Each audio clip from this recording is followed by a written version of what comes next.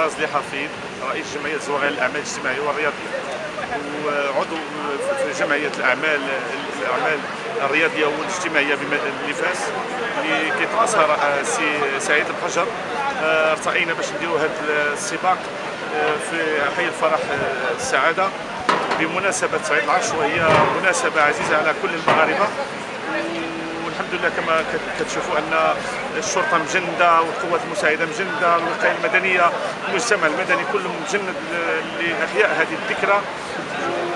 المسافه ديال هذا السباق على الطريق وهو سبعة كيلومترات للفئات الكبيرة والفئات الصغرى يعني البراهيم والصبيان آه، كيلومتر و500 متر.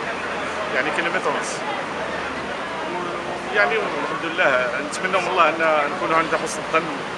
Assalamu alaikum.